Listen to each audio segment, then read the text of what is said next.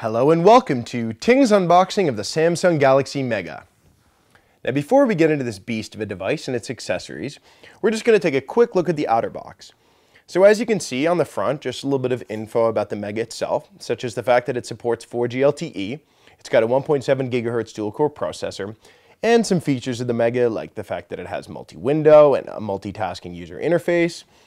On the bottom, just some environmental responsibility stuff, some ESN and barcode info on the top, nothing really on the bottom, nothing on this side, and on the back, just some info about what's included in the box, along with uh, the Android logo and Wi-Fi and Bluetooth, etc.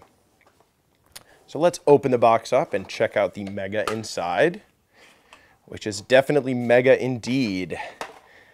This device feels colossal in my hand, and I guess that's why they call it a phablet which if you don't know, it's a mix between a tablet and a phone. Uh, a lot of people do like phablets because really it's kind of the best of both worlds. Uh, you don't really have to worry about lugging around two, two different devices or having to remember both of them. It's really all in one. So this device, in terms of screen size, is 6.3 inches. Uh, the width of it is 8 millimeters, or 0.31 inches for you American folk. In terms of the actual design, it has uh, one tangible button at the bottom, which is the home button, along with uh, two capacitive buttons for back and menu, which you obviously can't see now because the device isn't on.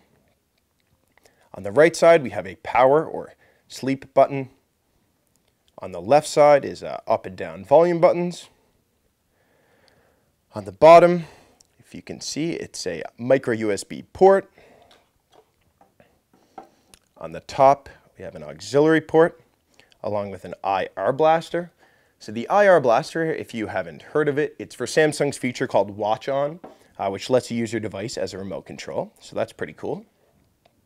In terms of cameras, on the front, it's a 1.9 megapixel camera.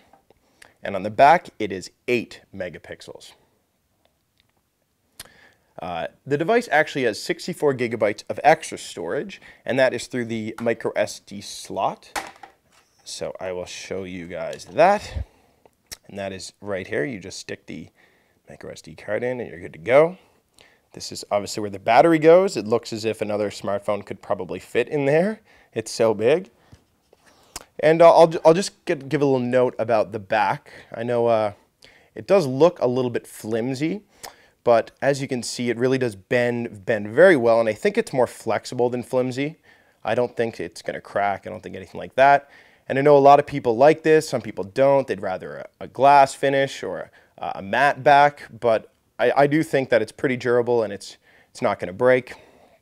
It might take me a while to snap back on though, depending on how many spots you have to snap it down in.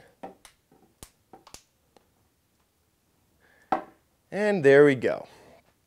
So the Mega itself actually comes uh, loaded with a lot of the Galaxy S4 features, if you've heard of them, uh, like Smart Stay, which will actually power off the display when you look away from it, and other ones like S-Memo, AirView. Uh, you can look them all up. There's a ton of different features, and they're all uh, great additions to Android. Another awesome thing about this device is that it's one of the first two devices to be launched on Ting with tri-band LTE access, which is also called Sprint Spark, if you uh, haven't heard of that. So that actually uses um, three different transmissions to give you a better signal and a stronger signal. Uh, I know that Samsung has also announced that they're going to be updating the Mega soon to Android 4.4. So that is KitKat, that is the newest version. Uh, right now this is running 4.2, but uh, don't worry, uh, Samsung has you back and you'll be getting that update in the near future. So let's check out what else is inside the box. So first we have Sprint's Get Started guides. Obviously, Ting has got your back. You can call us, go to our, uh, our online help desk, and we can help you out. But just in case you want to check out these guides, they're here for you as well. Next up is the battery. I won't put it in because I already showed where it goes, uh, but here it is. It kind of feels like a smartphone itself. It's that big. Next, we have the micro USB cord. So this obviously can plug directly in your computer or into the wall mount, which will charge your device even faster.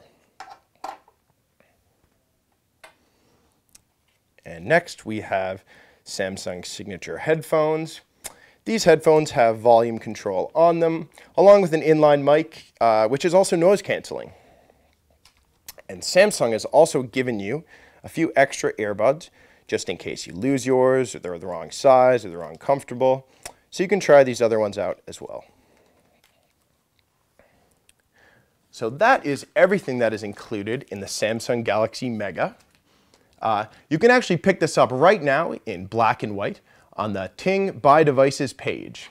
Uh, there's actually a direct link in the description below uh, to take you to either the black or white version, and you can grab it right now if you'd like. Thanks for watching. Uh, for more tutorials, unboxings, app reviews, and other Ting stuff, be sure to subscribe to Ting. See you next time.